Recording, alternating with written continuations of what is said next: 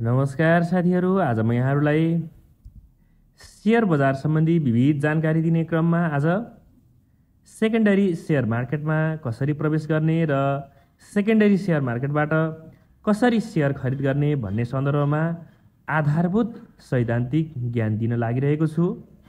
पुरा भिडियो हेर्नुहोला। यहाँहरू यो युट्युब च्यानलमा नयाँ हुनुहुन्छ भने कृपया च्यानललाई सब्सक्राइब गर्नु नभुल्नुहोला। र धेरैभन्दा धेरै साथीहरूमा सेयर पनि गर्नुहोला। अब लागौँ आजको विषयवस्तुतर्फ। सेयर बजारमा दुईवटा बजार हुन्छन्। प्राथमिक बजार र दोस्रो बजार। यी दुईमध्ये प्राथमिक भनेको आवेदन दिएर सेयर किन्ने हो। कुनै कम्पनीद्वारा सर्वसाधारणका लागि जारी साधारण सेयर आइपिओ किन्न आवेदन दिनु प्राथमिक बजारमा प्रवेश गर्नु हो। दोस्रो बजारमा भने सिधै प्रवेश गरेर सेयर कारोबार गर्न सकिन्छ। दोस्रो बजारमा सेयर कारोबारका लागि लगानीकर्ताले धितोपत्र ब्रोकर कहाँ जानुपर्छ?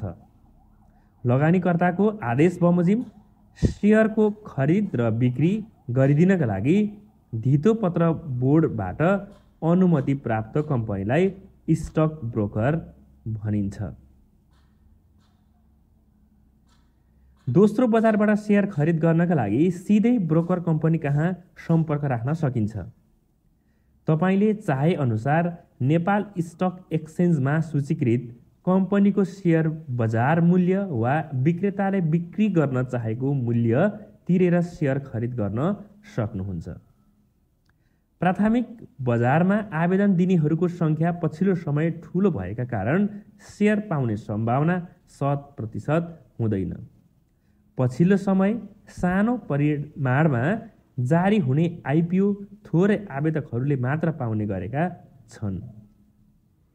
दोस्रो बजारमा जोखिम बढी हुने हुन्छ तर तपाईँले चाहे अनुसारको सेयर खरिद गर्न सहज हुन्छ।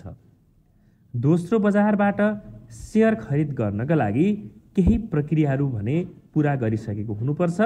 अब जानौँ ती प्रक्रियाहरू के के हुन् त। पहिलो नम्बरमा रहेको छ डिम्याट खाता खोल्ने। सेयर खरिदका लागि तपाईँसँग डिम्याट खाता भने अनिवार्य हुनुपर्छ। पैसा राख्नका लागि बैङ्क खाता खोले जस्तै सेयर राख्नका लागि डिमेट खाता चाहिन्छ। डिमेट खाता अहिले अनिवार्य गरिएको छ यसका लागि के चाहिन्छ त? डिमेट खाता खोल्नका लागि तपाईँले एउटा पासपोर्ट साइजको फोटो र नागरिकताको प्रतिलिपि तयार गर्नुपर्ने हुन्छ। यी कागजात लिएर तपाईँले आफ्नो खाता भएको बैङ्क वा अन्य जुनसुकै बैङ्कमा गएर पनि डिम्याट खाता खोल्न सक्नुहुनेछ। तपाईँ मर्चेन्ट बैङ्क क्यापिटलमा गएर पनि डिम्याट खाता खोल्न सक्नुहुन्छ। डिम्याट खोल्नु अघि तपाईँको बैङ्क खातामा पैसा भने हुनुपर्छ। दोस्रो ट्रेडिङ खाता खोल्ने। दोस्रो बजारमा सेयर कारोबार गर्नको लागि डिम्याट पछि तपाईँलाई कारोबार ट्रेडिङ खाता समेत अनिवार्य हुन्छ। यो खाता भने ब्रोकर कार्यालयमा गएर खोल्न सकिन्छ। यसका लागि एक प्रति पासपोर्ट साइजको फोटो नागरिकताको प्रतिलिपि र डिम्याट खोलेको कन्फर्मेसन लेटर आवश्यक पर्ने हुन्छ।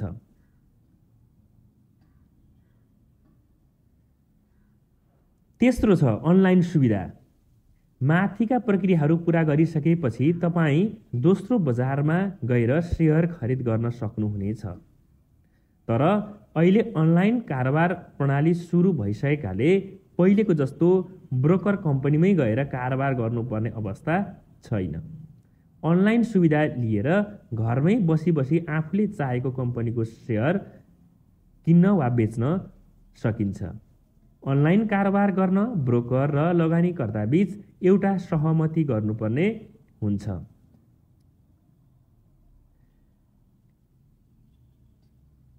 सहमति बमोजिम इमेलमा युजर र पासवर्ड आउँछ। युजर र पासवर्ड प्रयोग गरी सेयर कारोबार गर्न सकिन्छ।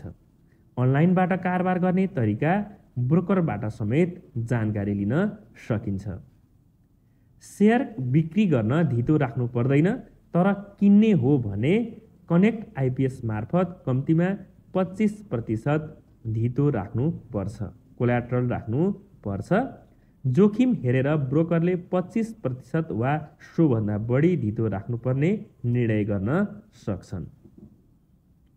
अझै यहाँ बुझ्नुपर्ने कुरा के हो भने नेपाली सेयर बजारमा गत माघ एघारदेखि टी प्लस टू सिस्टम लागू भएको छ। यो भनेको दुई दिनमै कारोबार रास राफसाफ हुने प्रणाली हो। तपाईँले कुनै सेयर किन्नुभयो भने दुई दिनभित्रै रकम तिरिसक्नुपर्छ तर तपाईँले बेचेको सेयरको रकम भने ब्रोकर कम्पनीले दुई दिनमै तपाईँको खातामा नपठाउन सक्छन्। सामान्यतया बिक्री गर्दा एक दिन ढिला रकम आउने गरेको पाइन्छ। धेरै लगानीकर्ताहरूमा यो विषय कन्फ्युजन छ। हामीले तिर्दा दुई दिनमै अनि हामीले बेच्दा तिन दिनमा पैसा किन आउने भन्ने जिज्ञासा हुनसक्छ किन्ने लगानीकर्ताले ब्रोकरलाई पठाएको रकम सिडिएसीमा पुग्ने हुन्छ।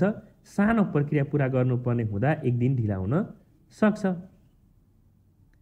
यसरी यहाँहरूले सेयर कारोबार गर्नको लागि सेकेन्डरी मार्केटमा प्रवेश गर्नको लागि पुरा गर्नुपर्ने प्रक्रिया र सेकेन्डरी मार्केटमा प्रवेश गर्दा चाहिने आवश्यक कागजातको बारेमा यहाँहरूलाई मैले डिटेल्समा बताएँ। यहाँहरूलाई आजको भिडियो सामग्री कस्तो लाग्यो? कृपया सल्लाह सुझाव र प्रतिक्रिया दिन नभुल्नुहोला। आगामी दिनमा यस्तै यस्तै भिडियोहरू बनाउँदै जानेछु। यहाँहरूले यो युट्युब च्यानललाई सब्सक्राइब पनि गर्नुहोला सेयर पनि गर्नुहोला भन्न चाहन्छु र आजको भिडियो सामग्रीबाट बित्न चाहन्छु। हवस् त नमस्कार।